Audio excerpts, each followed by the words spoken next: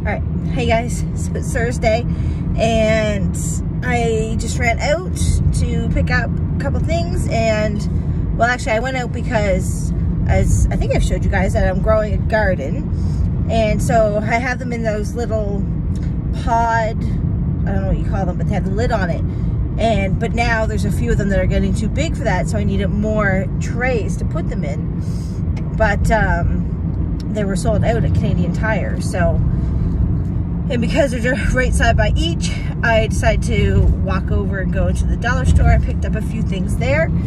Um, and they actually had some deeper, it wasn't what I wanted, but they had some of the deeper pots that I can put them in. So, so I'm going to do, but I picked up a few other things, some stuff for Alexis and, you know, just because I was out. Um, but yeah, I'll do a little haul for you guys once we get home. So, so yeah, it's an absolutely beautiful day out. It's seven degrees. It's quite windy though, but I mean, at least it's sunny. So yeah, we haven't been doing much um, because we just stay home all day and there isn't anything to really do. Lexi, we basically, this is what happens every day. We get up, Lexi sleeps in.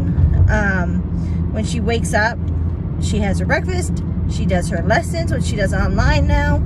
Um, and then she usually goes and plays her games or talks to her friends online and plays with them that way. And I just clean the house, try to tidy things up. And then that's like our whole day. that's all we do. So it's not very exciting. Um, but I think this weekend we're gonna go for a drive and see my parents. Not go in, social distancing and all that, but I need to see my parents. So we'll just take a nice drive, stay in our cars, or stay six feet apart. And I was even thinking, um, oh, and actually, and another reason too is because we have the N95 masks. So I wanted to give my parents some and um, so they have them for when they go out.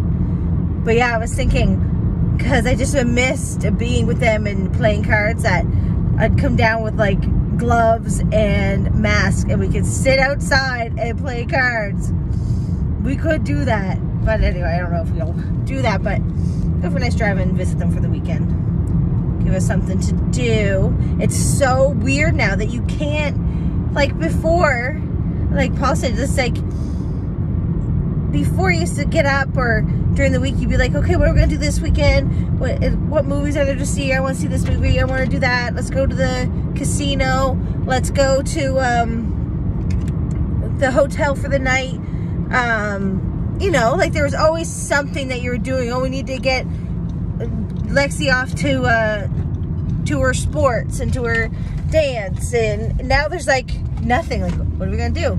I guess we're gonna sit in the house and look at each other you know what I mean? Like, it's so weird that you can't even plan anything anymore.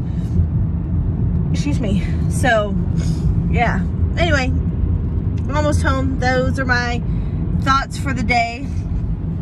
And uh, that's it. I'll talk to you guys after.